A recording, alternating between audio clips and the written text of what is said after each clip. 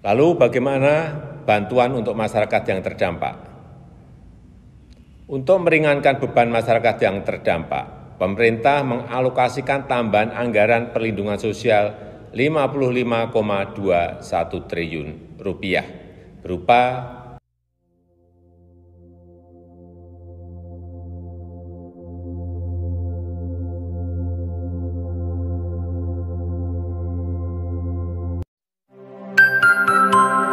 Wave Mile.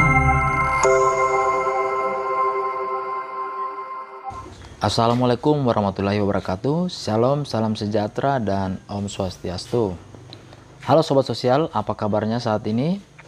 Tentunya kabar yang sangat luar biasa, tetap terjaga kesehatan dan selalu diberikan rezeki yang melimpah dari Tuhan Yang Maha Kuasa. Amin.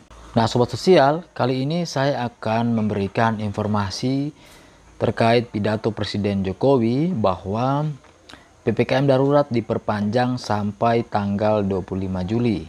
Nah, keputusan ini disampaikan oleh Bapak Jokowi dalam pernyataan resmi di akun YouTube Sekretariat Presiden tadi malam, hari Selasa tanggal 20 tanggal 20 bulan 7 2021.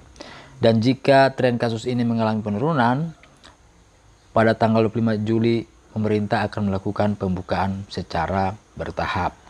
Dan pada saat proses PPKM darurat diperpanjang ini, ada juga bantuan sosial yang akan diterima bagi keluarga penerima manfaat yang terdampak pandemi COVID-19.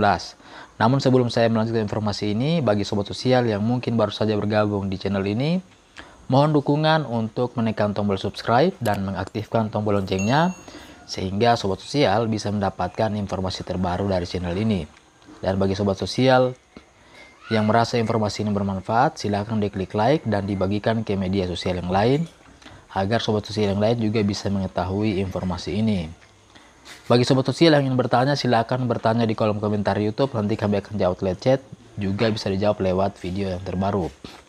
Nah, saya akan melanjutkan informasi ini dan terus simak video pidato Presiden Jokowi terkait PPKM darurat berpanjang dan bantuan sosial yang akan diterima di masa pandemi COVID-19 dalam pemberlakuan pembatasan kegiatan masyarakat.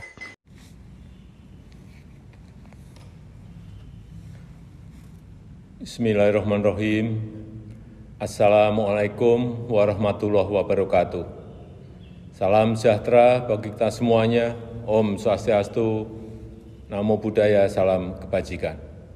Bapak, Ibu, dan saudara-saudara sebangsa dan setanah air, penerapan PPKM darurat yang dimulai tanggal 3 Juli 2021 yang lalu adalah kebijakan yang tidak bisa kita hindari, yang harus diambil pemerintah meskipun itu sangat-sangat berat. Ini dilakukan untuk menurunkan penularan COVID-19 dan mengurangi kebutuhan masyarakat untuk pengobatan di rumah sakit, sehingga tidak membuat lumpuhnya rumah sakit lantaran over kapasitas pasien COVID-19, serta agar layanan kesehatan untuk pasien dengan penyakit kritis lainnya tidak terganggu dan terancam nyawanya. Namun, alhamdulillah, kita patut bersyukur setelah dilaksanakan ppkm darurat terlihat dari data penambahan kasus dan kepenuhan bed rumah sakit mengalami penurunan. Kita selalu memantau, memahami dinamika di lapangan, dan juga mendengar suara-suara masyarakat yang terdampak dari PPKM. Karena itu, jika tren kasus terus mengalami penurunan, maka tanggal 26 Juli 2021 pemerintah akan melakukan pembukaan secara bertahap. Pasar tradisional yang menjual kebutuhan pokok sehari-hari diizinkan dibuka sampai pukul 20 dengan kapasitas pengunjung 50 persen. Pasar tradisional selain yang menjual kebutuhan pokok sehari-hari diizinkan dibuka sampai dengan pukul 15 dengan kapasitas maksimal 50 persen.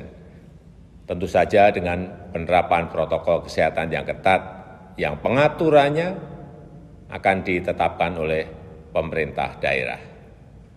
Pedagang kaki lima, toko kelontong, agen atau outlet, voucher, pangkas rambut, laundry, pedagang asongan, bengkel kecil, cucian kendaraan, dan usaha kecil lainnya yang sejenis diizinkan buka dengan protokol kesehatan ketat sampai dengan pukul 21 yang pengaturannya teknisnya akan diatur oleh pemerintah daerah. Warung makan, pedagang kaki lima, lapak jajanan, dan sejenisnya yang memiliki tempat usaha di ruang terbuka diizinkan buka dengan protokol kesehatan dengan ketat sampai pukul 21 dan maksimum waktu makan untuk setiap pengunjung 30 menit. Sedangkan kegiatan yang lain pada sektor esensial dan kritikal, baik di pemerintahan maupun swasta, serta terkait dengan protokol perjalanan akan dijelaskan secara terpisah. Saya minta kita semuanya bisa bekerja sama bahu-membahu untuk melaksanakan PPKM ini dengan harapan kasus akan segera turun dan tekanan kepada rumah sakit juga menurun. Untuk itu kita semua harus meningkatkan kedisiplinan dalam menerapkan protokol kesehatan. Melakukan isolasi terhadap yang bergejala dan memberikan pengobatan sedini mungkin kepada yang terpapar. Pemerintah akan terus membagikan paket obat gratis untuk OTG dan yang bergejala ringan yang direncanakan sejumlah 2 juta paket obat. Lalu bagaimana bantuan untuk masyarakat yang terdampak? Untuk meringankan beban masyarakat yang terdampak, pemerintah mengalokasikan tambahan anggaran perlindungan sosial 55,21 triliun rupiah berupa bantuan tunai yaitu BST, BLT desa, kemudian PKH, juga bantuan sembako, bantuan kuota internet, dan subsidi listrik diteruskan.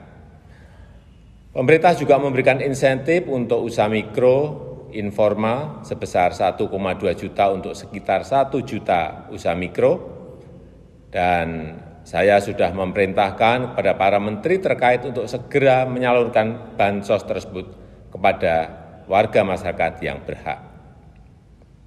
Saya mengajak seluruh lapisan masyarakat, seluruh komponen bangsa untuk bersatu melawan COVID-19 ini. Memang ini situasi yang sangat berat, tetapi dengan usaha keras kita bersama, insya Allah kita bisa segera terbebas dari COVID-19. Dan kegiatan sosial, kegiatan ekonomi masyarakat bisa kembali normal. Terima kasih. Wassalamualaikum warahmatullahi wabarakatuh.